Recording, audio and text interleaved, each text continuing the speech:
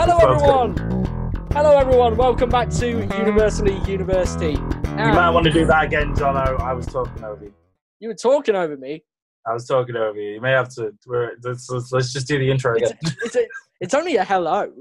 What, what do you want me to do? Do, do, do you want me to say it in an Australian accent, or should we have No, you doing it for a change? no, it's only just in case because I was talking over you. That's the only thing. Hello, chums. Welcome back to Universally University, everyone. This is episode four. Mm-hmm. So, was that everything all right? Was was that better? That's perfect. That's perfect. well, It's the Uh, oddest start to a podcast ever. th- th- this is the weirdest start I've ever had. Um, Ah, well. well, well, guys, welcome back to the podcast, and Dan, welcome back from the clutches, Ah, it's good to be back. Liverpool. Oh, Um, Liverpool, yes, indeed. Yeah, it's good to be back. It's good to be back. horrible place. Anyway, how was Oh, your last It's not that bad. hor- horrible place? How was your last two weeks been, Dan? I feel like every single time that you miss something, we've got to catch up the next two weeks. So otherwise, otherwise we'll have in the comments. What's Dan's been No, doing? What has he been doing? Why didn't you ask him? no, I, I think I think it, it's really odd because lockdown has made it so that most days just bleed into one. So some days you're actually doing things, and other days you're not doing anything. You're just in bed. Um, I'm trying to think. What what what have I done? I, I think having to think about what I've done volumes. So says I've a lot. Probably not done anything. the fact you've actually Um, had to think. Yeah, no, absolutely. I, I'm back into. I, I've started running again. I'm sure You- that's exceptionally started running? I You started, started running. yeah. Running. Back, yeah, back into back into going for my daily jog. Uh, I, I had a sort of three week, I had a three week lull where I didn't do any physical activity, but now I'm slowly but surely coming back into it. Uh, it was baking hot the other day, Ooh. so Don't tell me you went for a run then. uh, no, no, Oh, I, I did the God. day after, even though it was still hot. But um, I did, I did, um, I, I missed out on that day because I think everybody was just stuck to their sofas, weren't they? How, Oh, yeah. how's your how's your last two weeks been, other than the uh, the podcast with Charlie? How uh, how's I it been?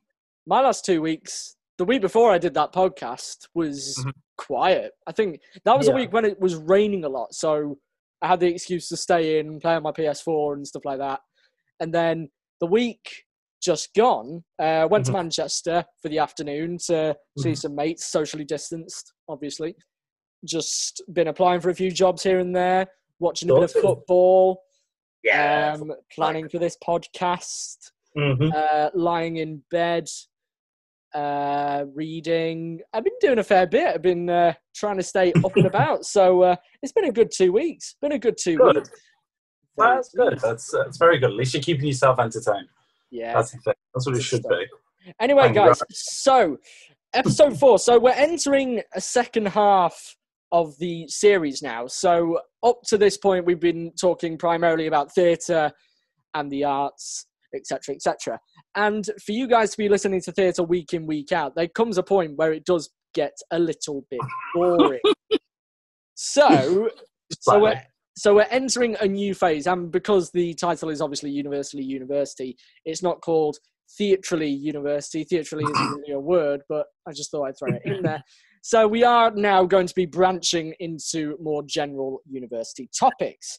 And to Hmm. start off this second half of the series, it's just going to be me and Dan again, as you guys can quite definitely hear. Um, but yeah, so we're talking about today, we're talking about uh, our hobbies, let's call them, on YouTube and Instagram. Obviously, I have my own YouTube channel for people who are watching on YouTube and people who follow Dan on Instagram. And if you haven't, the link is all the way back in episode two. Dan does a lot of music covers and he does them daily. He sings daily and he puts puts them on his stories daily, hourly, Daily. or even minutely. He, he puts them on. He, he puts them Scarily on. He, he, he, he spams his Instagram with them. I'm not saying that. I, I, I assume I'm yes, not saying that's a bad thing. I'm not No, saying that's a bad thing. It, I'm not saying it's a bad thing at all. I'm saying it's a it's a, it's a brilliant thing. I love spamming. Yes, It's it's, it's a- it's a better thing than just seeing spams of like memes and stuff like that, repeated memes Yeah. that seen over and over again. Yeah, I mean, you could make my covers into memes, I guess. You, you could do. You could. You I mean- I, I mean. Hey, here's a challenge for you. At the end of the series, let's hear a, a Mhm. memed cover of something. Just make a meme Okay. of one of your covers. All right. it, okay. or something like okay. that. I'm- That's the I'm- Are we talking? Are we talking like an actual like of one of my covers, or are we talking like to do like a cover of like Darude Sandstorm or something? Something like that. Something like that. We'll leave, we'll leave it to you. We'll see what we can. uh, me. We'll see what you can Leave come up with looking forward to that. I'm looking forward to that. But anyway, um, particularly at university, people join societies, don't they? People have a, Mhm. a hobby on the outside of whatever subject they do. So, for instance, you Yeah. could be studying business and you know you could go to the drama society if they've got one you could go to a music society if your Mm. interest is in politics you can either, either join labour or conservative societies you can even Mhm. join a socialist society or even a chicken nugget society as well the, the list is endless but societies essentially are another hobby for people aren't they to have Yeah. on the outside of their actual subject. But for some people who don't join societies, they turn to social media. So they turn to Mm. TikTok, they turn to YouTube, they turn to Instagram. So just to get us started, Dan, where did your Mhm. love for music covers come from? And Mhm. yeah, why did you choose to put them on Instagram? I, I I'll just preface this by saying I I very rarely do stuff that is my own. I can write stuff, um, and I do still write stuff with um, Don't couple say of that you don't write your own stuff, Dan. I know, viewers. indeed, but I, I guess I guess I, I, the first sort of ones I did were like back in 2017, and they were just sort of like me messing about. I'd recently got a, a loop pedal for my birthday, which is like basically where you can just put like different loops through either a guitar or a microphone or something, and you can loop it through whatever amplifier or speakers you have. Um, and so I discovered the very easy way of um, creating music through like layers. So you'd start with a bass line, then you'd make a drum pattern, and then you do like vocals and harmonies and stuff, and then you do chords and things. So that's kind of basically how it started because I just I, I could listen to a song, and I, know, I have enough musical knowledge to kind of I say enough, barely, but enough musical knowledge to be able to sort of think, oh right, okay, I could, I could, I could use that chord progression, and then I use that, and then that. Um, and I, once once I started to practice and mess about, I'm I am through and through a bedroom guitarist. I'm not gonna lie. Oh yeah, Um, like if, if, if you watch Dan's Instagrams, every single time it's literally the ceiling. That is Yeah. the picture. The picture is the ceiling. The picture is the ceiling. But then again, that is basically how I start most of my Yeah. FaceTime calls with mates. Like I've got the phone Yes. down, I put the call on, and then every single time it comes on, people are looking at the ceiling, and it's just like It's the iconic Oh, image of the ceiling. It's Oh. the iconic. it's like, oh guys, we're seeing a bit of uh, Jono's cupboards today. What a treat! I know what you See mean. more of my room. Ceilings are iconic, guys. Use Yes, they are. Yes, they are. Ceilings are iconic. That's a good album title. That's a good album title. Uh, so no, that, that's basically it. And uh, the more the more I did, um, the more people seemed to sort of like them. Mm. And being performers, we we thrive off attention, unfortunately, but that's no bad thing.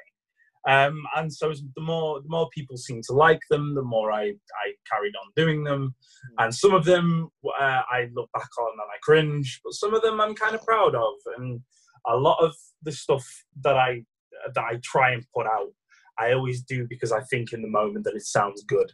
And uh, that's kind of just basically it. And a lot of places need to see like um, your social media to go give us examples of your work and i don't have much sort of monologues or like stuff to the camera or on screen or on set uh, that i can sort of show so i always just direct into my instagram and go look I, I sort of do these little music covers people give me suggestions and i make very sort of daft versions of songs and they that's always a good thing it's always a, it's, it's a string to your bow i guess that's that's kind of how my process is to be Yeah. honest Yeah, I Yeah. mean, so so it's a kind of it is a hobby for you on the side. I mean, I Mhm. know in episode two we talked about how you're looking to do a master's in music. Music, yeah. Um, so particularly though doing those music covers, it shows where your love is, and you're keeping that hobby on the outside.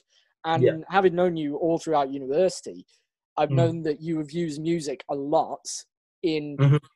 your performances. It's pretty much yeah. it's it's very central to your um, performance kind of skills and your general performances that you've done. So, yeah. how do you think that these music covers have helped you to develop your creative skills even before university happened? If you started doing them before university um, began Yeah. for you, Um, I think I think they're a very good form of practice, and even if they turn out to not be very good or they turn out to be subpar compared to other ones I've made, um, I see them as a learning curve every single one that I do. And uh, the, the key to it really is just the more you do, the easier things get, and they're they're also just nice release. Also, I've said also twice. Um, they are just they they are a nice release, and I, I don't know if people at the end of the day, if people like them and enjoy them, then that's great. But they're more for my own personal development, I guess. Not not that I'm saying I, I love if people like or hate or whatever. I welcome all feedback and stuff like that. I mean, you have to, Mm. um, because that's sensible. But I, I, I guess I, I do them more for my own personal development, and it cheers me up. I, th- I think Mm. uh, same as same as obviously we'll, we'll talk about you and your YouTube channel and how it started and how it's grown. Um, but at the, at the end of the day, if you're if you're doing something and it's fun, then you've made it really. Mm. Like even if it's just on a very small scale, like I only have about 400 followers, but like if it if it makes people smile, if it makes me smile, then I've succeeded, I guess, yeah. which is a happy ending. I guess. Yay.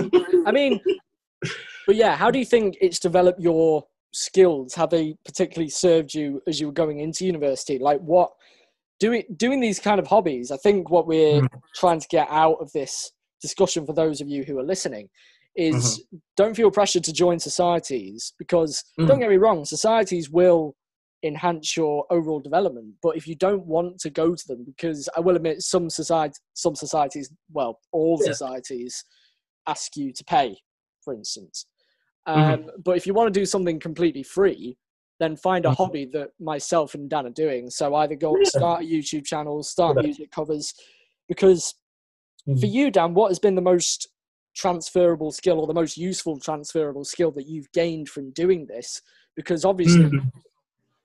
now we're in the big wide yeah. world and we're in the wild Yeah.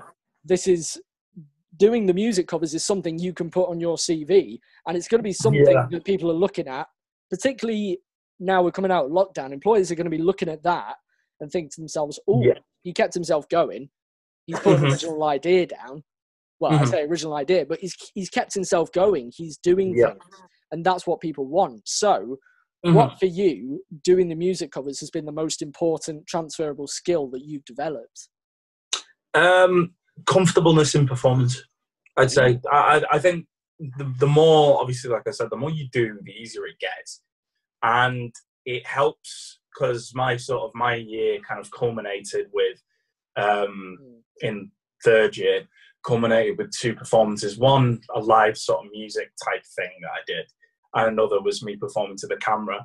And what it's kind of made me feel more comfortable with is not only sort of performing to a camera and like making things that people can watch so the nerves sort of get easier but you know into how to edit sound and how to edit film and how to make things look good how to kind of make a shot of my ceiling look remotely arty. Do you know what i mean? It's it's it's given me it's it's put me down two different paths of being able to sort of uh, cope with nerves and cope with sort of feeling at home when i'm performing. But also it's like how i can embellish my covers or my uh, little original clips that i do because it's all practice and the, i'm not being daft you, you you get better at something by putting it into practice i think um, whether that's writing or directing or, or sport or you know just uh, maths anything Mm. you you get better at it through sort of practicing transferable practice i guess Yeah. But yeah that's it, yeah helping performance helping Okay. I can imagine it does because obviously it brings you out of your shell and it makes you more confident to Yeah. try different things, doesn't it? So, talking about trying different things, Mhm. what what was for you your most ambitious cover? Um, I'd say. um, I'm trying to think. There is one I am in the process of doing, Ooh, and it's a song that doesn't have a title, but it's by a guy called Reggie Watts. okay. And Reggie Watts does he he beatboxes, and I can't beatbox, but I know enough of how to loop my own mouth sounds to create a beat. Mm. And I'm trying to. It's really weird. I'll, I'll we'll link it. I'll send you the link, John, and you can put the link in the description because it is Nice fantastic. Um, but it's the one he does at a TED talk, and it's all just just an entire song based on his voice. So Oh, like wow. he'll sing, he'll sing, but he won't be singing any words.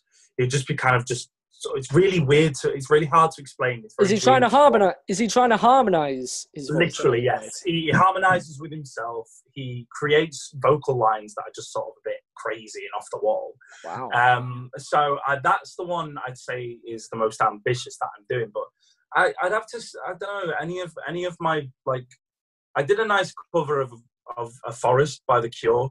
I was very proud of that. Um, I've got it up on my Twitter. That was from 2018, 2017, 18. Um, and that was, I, I displayed how to create the entire song. So, like, how to create the drum beat, how to create the bass line, how to create the guitar tone, and Mm. everything. And I, I, that's one thing. It's on my Instagram. I'll, uh, you know, you can have a look if you want, or don't. It's up to you. um, but that, that I'd say I, I like being able to display how I don't want to say easy, but how how simple music looping can be. So Mm. I'd say the the Cure one. Yeah, Okay. absolutely. Very absolutely. good. Very good. So, out of everything, every social media thing that's out there, you know, Mhm. you've got Facebook, Instagram, Twitter, YouTube, LinkedIn. Um, what else have you got? I'm I'm trying to think of any others. Ah. Um, I'm trying to think. We've got LinkedIn, Facebook, Twitter, Instagram, Snapchat. Um, I'm trying to think. They're sort of the main players, really, aren't they? Yeah. Out of all of those, why Mhm. specifically did you choose Instagram to host your music covers? Um, because it, it's pretty. Instagram is sort of the king of creating short content after Vine went away, and yeah, so it's like the to to put up like a small fifteen second clip of me just singing some random song. It was exceptionally easy. It cuts up the video. Say if you take a video, it's about a minute long. It cuts up your video into 15 second strips, and I kind of it helps my OCD to be able to create like parts of something. Mm. And I'll explain it like this: when you put up a video on Instagram on the stories section, it splits it into four sections, Yeah. but it doesn't. You have to like you have to um, edit it in a very certain way. So if I want to put the title of a song, I have to put the title of the song in the same place in each of the four sections yeah. and then I, yeah, and then I have to put in the logo of sound on, which is my thing that I, I well, it's not my thing, but it's just a thing people do when they do music, just so people know. Oh, look, I'm doing some music. Um, and then Sound on. Listen to it, please. sound on, yes. and then um, it's just about getting everything in the right order, and then it's kind of like I've actually accomplished something. Mm. I know it sounds daft, but it feels like I- I've created something. I've built it, and then I've put it out there. And it could be it could be absolutely rubbish, but like it's it, it does kind of make you a little bit proud. And that's and Yeah. Instagram is the easiest one to do it on. I'd say. Yeah, I, su- I suppose like as well, it kind of develops your editing as well, doesn't it? It's like that whole thing of doing it all yourself, putting it all together, Mhm. and then sending it out, thinking, "Oh, I did that. Let's let's show it to the world." But it's not one of the, those things where you put the credits on and it's like, you know, directed by Daniel Healiss, produced by Daniel Healiss. The, the title of the song might as well just be Daniel Healiss. Catering by Daniel Healiss. Yes. Life by Daniel Healiss. That's true. That's very true. But no, it is. It's true. It's like, and that's what I wanted to. Obviously, when we go more into the YouTube sort of section, I don't know um, if we, you want to go into it now, but it's like it's like how come and I'll bring the question straight back to you. How come YouTube was the thing for you? How come you know? Why did you feel the most comfortable on YouTube? Because obviously you've had your channel for probably since well as long as I've known you, so it's Mm. probably just the best part of three years. Um, why YouTube, Jono? Well, it's interesting because there's a lot of. Um, I actually had a very old channel beforehand where I Mm. did a lot of videos, but it wasn't as original. It wasn't as creative. It was. It's one of those. It was one of those channels where you know you put up clips of certain TV shows and stuff like that. You, Mm. you wouldn't be doing it to get original content. and um, I actually remember one of the videos that I put up weirdly, and for some reason, when I was younger, I was so so proud of it. It was a video of you know the old CBBC intro, where it was just went CBBC, and then it was like, Yeah. yeah, Yeah. it was a proper guitar riff. I remember Mhm. being so proud of that because somehow I've I've even got forgotten how I did it. For some some reason, and somehow I managed to burn that intro and just put it on the computer, and I was able just to upload it. So I just uploaded it and How got, many views did you get? I've got at least hundred as far as I can remember. Yay, 100 views. You broke Which- 100 views. That's which 100 at the time was uh, big for me, but um, well, it's, still, it's still big for me. Um, but yeah, so my love for YouTube just started from the fact that I always enjoyed performing, you know, no matter where I was, you know, Mm. even if it was, you know, even if it was in the bathroom and I was just holding the toothbrush to to my mouth and singing away while the electric like bristles just started turning and the toothpaste was just hitting my face. You know, that wouldn't matter. That wouldn't matter at all. And I think just every so often you felt free in front of the camera Yeah. when you didn't have a script there and you just came out with your own ideas.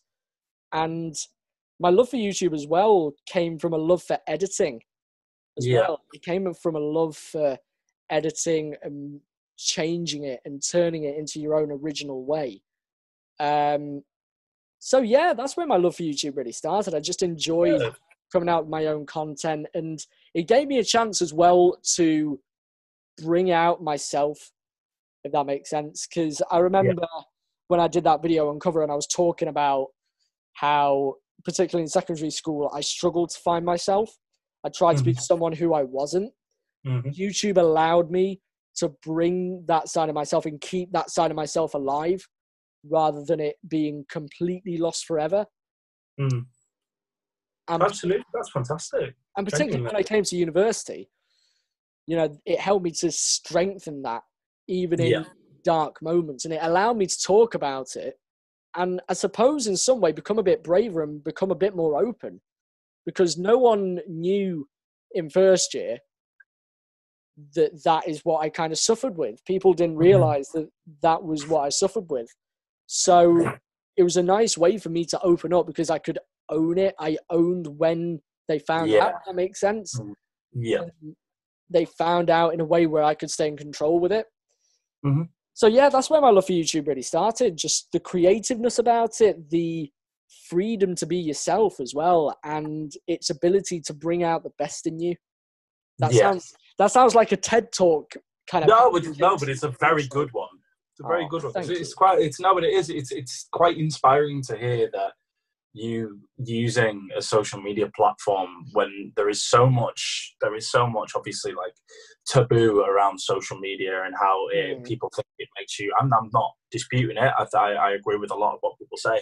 A lot of people say that that obviously social media not only like makes your world more enhanced, but it also makes you more lonely or it's, you know this that and the other Mm, and it is nice to hear especially with youtube and how sort of the content creators are like at the forefront of the news all the time now and all this Mm. and most of it is good news how you've been able to find or like i, I guess that you've been able to find yourself Mm. and how you know being able to like be confident in what you made but on, Mm. if anybody's seen Uncover, it's just a fantastic video of John just chatting about how things didn't feel right and that he wanted to just I, don't know it, we all get to that point in our lives where we feel like we need to move on but we don't know what we're moving on to mm, and it's kind of it's really really nice to hear Jono chat about what he wants to do, how he wanted to do it, and how he needed to take a break.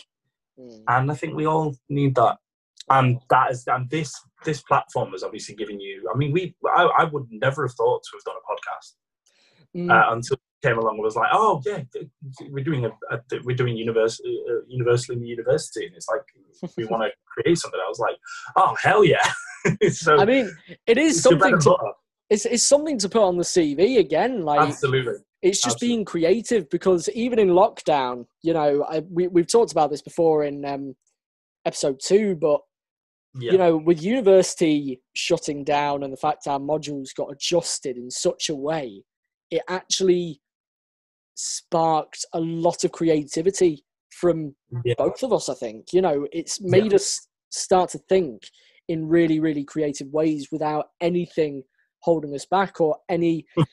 I say any pressure because obviously there was pressure in us to get the project done in, Yeah, a amount of time. Mm. But you know, even then, even after the deadline finished, I was searching for something to do. You know what I mean? Like just applying for jobs every single day wasn't going to get it done. Yeah. So I genuinely thought to myself, right, if I'm going to stay busy over this summer, I need to do something. I need to find a way to keep busy. And actually, funnily enough, um, I, I've I've had this. I talked about editing a little bit before, but I've had a love for editing all my videos and doing this and doing that and trying to find ways to kind of enhance that. So I Mhm. remember right at the start of lockdown, um, I had a look at uh, Final Cut Pro. So you know the big, big Yeah. editing software. Everyone adores it. It's one of the most beautiful editing software pieces that you'll ever find. But it's not beautiful when you have a look at the price because the price is so Yes. ridiculously Yes. pricey. Thank you, But- Apple. Thank you, Apple. But I found a way around this. This is this is a little bit of a hint if you guys haven't already found it. But uh, Apple do a Pro Apps for Education bundle, Mm. and in this bundle you get Final Cut Pro, you get Motion Five, you get Mm. uh, Logic Logic Pro, which is the musical professional equivalent. Yes, it's You get- fantastic. All of the professional applications that you will need, and you get it for the price for the amazing price of just two hundred quid. Now Yeah. paying that up front obviously it's a bit costly there and then, Mm. but they will be yours forever and ever. A Yeah. year. Instead of Yeah. paying like 20 quid a month to use Adobe After Effects or Adobe Mhm. Photoshop, that is such a good price to use. And I thought to myself, you know what? I'm going to get my money's worth out of this because Yeah. as much as I love iMovie, it's basic. Yeah, of course it is. It's You want, you want actual proper editing software to pay Oh. 200 quid for all of Mm. those things. Like as, as costly as it, yeah, it's true because like you look at that that one figure and you're like, oh my Mm. goodness, but and it is an investment. It has to be an investment because it's a huge investment. it is a huge investment. It's 200, 200 bloody pounds, man. It's it's one of them. But at, at the end of the day, if, if you're if that's what you want to go into, Mm. there comes a point when you're a creative where you say if you earn some sort of money and stuff, where that investment might be viable for you. And Yeah. obviously, don't you know don't go into something thinking, all right, yeah, I'll just I'll just buy it and then I'll, I'll yeah, you know everything will just sort of fall into place. Do you know it is it's an investment when the time is right. Mm. I, I guess, and I'm guessing that's why he did it because the Yeah. time was right. yeah, at the time, obviously, I wanted to develop my skills in editing. I wanted to get better at it. I found I saw an opportunity, particularly during lockdown, to Mhm. develop my own skills. So, um, I think I mentioned uh, I mentioned this last week in uh, episode three. I'm actually learning German um, Oh wow! as well on an on on the other side of things as well. I'm learning German. I'm I'm doing so much more things than I could have possibly imagined alongside applying for jobs Mhm. because what else is there to do? I think the overall message from this episode is that Mm. find creative ways, particularly if you're in performance or anything like that.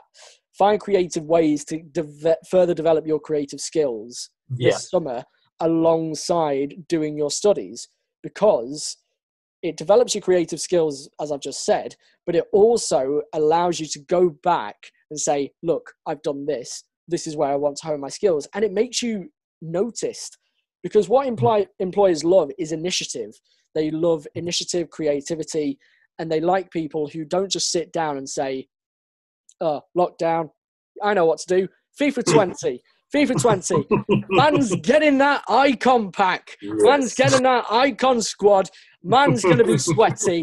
Man is going to be like level 450 on Grand Theft Auto 5. Oh, I'm not going to have a life. I mean, I mean saying not going to have a life is a bit harsh, but um, you have to find the right balance, is what he's saying. Basically. oh yeah, like, absolutely. you can you can you can do your, your things, but these sort of things are like a worthy investment. It's like it's it's like if you, if you had the choice of choosing between like a sixty pound video game and uh, like a an editing software for three months, it's it's one of those things that you could genuinely, you know, you genuinely have to think about.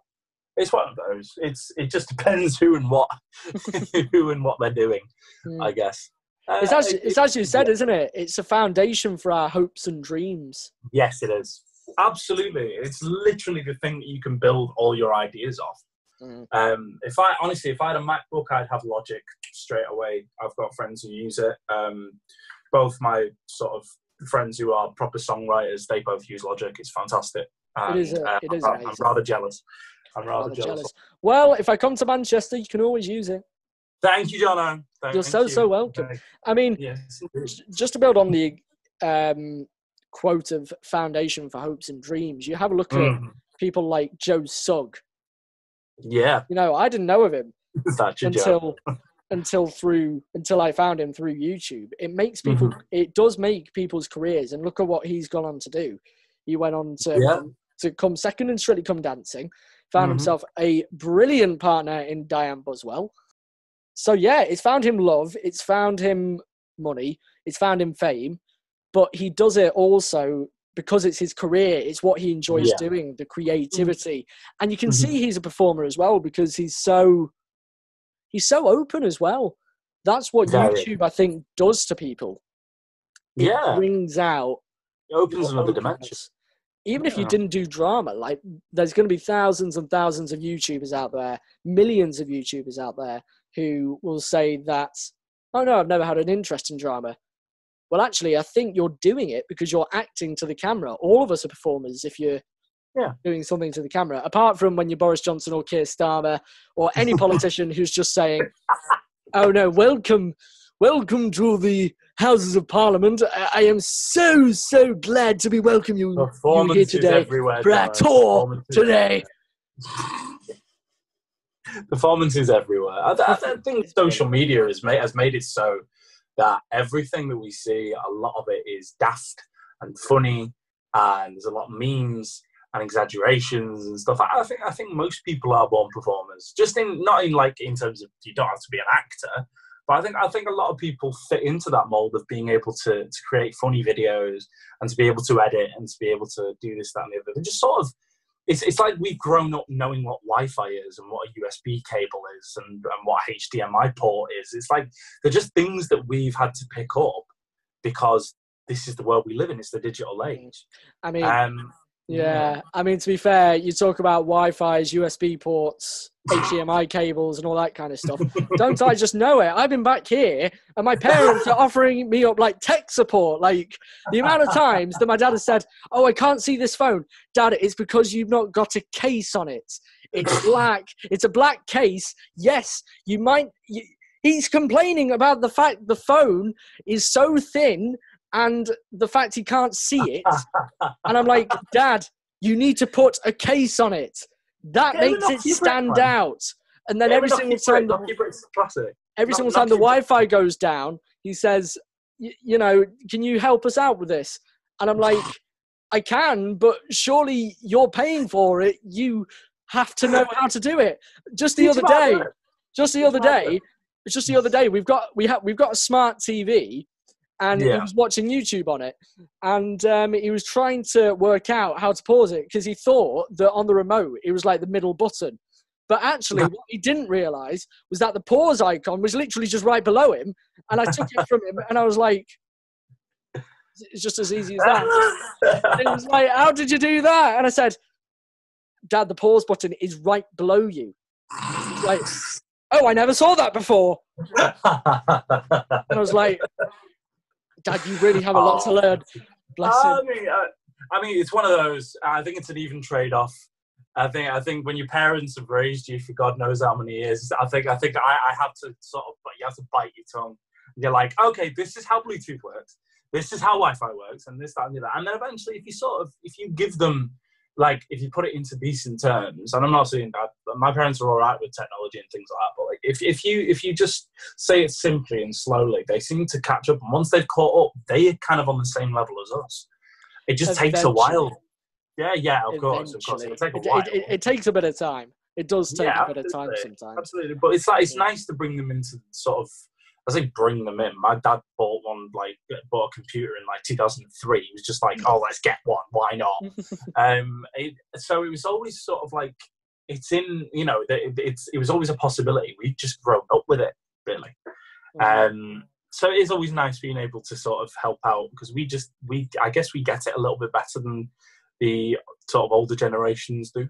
We must we must do. It's it's just because we we're on our phones all the time. We're on our phones all the time. I mean, it's reached peak hours, hasn't it? That like Yeah. you know how Apple on their phones they brought out like they tell you how much your screen time is there. oh, screen It's time. like- yeah. It's like for people for for younger listeners, it's really unlucky for you guys that you've actually now you're now being brought up in this era where Apple actually give ammunition to your to your parents to say you spent too long on this phone today. Get off it. The phone is telling you you have spent way too long looking at a screen. So here's a book. I'm taking that from you. Now read. I, I the one good thing is the one good thing. The one good thing is during lockdown, I think everybody has been addicted to their phones a little Oh, bit yeah. more, even a little bit more than usual. My Mm. screen time per day is laughable. It's like yeah. because I, I do a lot of well, I've, I've, um, I do a lot of Instagram and Snapchat and things like that, and I'm obviously always chatting to mates and things. And then I do Skype in the evenings when I'm playing Warzone and when I'm totally not dying in the first twenty people. Um, Oh, so it's it's one of the, Yeah, it's it's one of those. I, but my my screen time is literally up to like fourteen hours a day.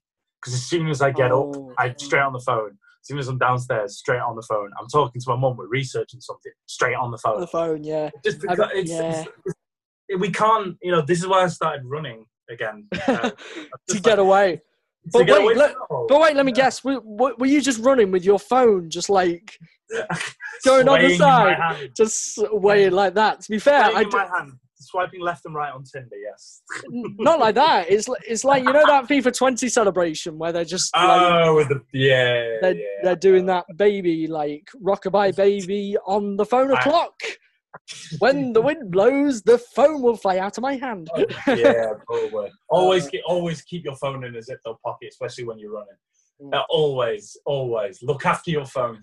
And a final message to all you university listeners don't go on your phone during class, don't go on your phone during lectures. Admittedly, we did because we sent the group chat absolutely wild over lectures.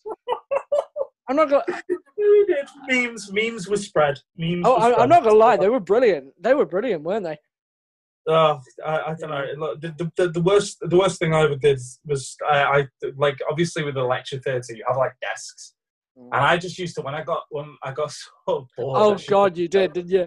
I, yeah, I got bored. I used to oh sit God. on- I used to sit under the desk, and I just used to sit on my phone because the lectures would, last for about two hours. And they didn't. They didn't notice you. No, at all. I just what I do is what I do is I'd record it from my laptop, so my laptop was, record, was recording the audio, and I'd put that into software, and I just sat on my phone under the. it's like I was like, I'm on Amazon. Does anyone want anything? Oh my God. so no, but it well, that's the thing. Phones are taking over, John. Phones are They're- taking over. They're taking It's over. totally not me No, being lazy.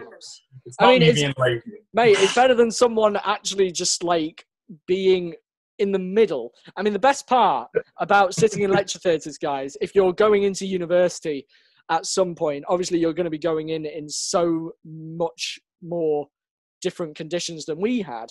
Uh, Mhm. Try and get all the way to the back, back like row guys, right at the top. I mean, it, it is absolute heaven because you can spy on everyone else to see which guy is not listening. Because admittedly, you guys are not listening by spying. But I actually remember we were right at the top one day, and I was looking along the laptops because I was just had a momentary loss of concentration. But in the corner of my eye, I spotted someone playing Football Manager. Someone was playing Football Manager, and they had the most rubbish tactic that you had ever seen. And I was Wow. looking, and I was like, "Yeah, he's he definitely ain't got the game." He definitely hasn't got the gist of the game. Football, I was, You've got your how bad it lecturer.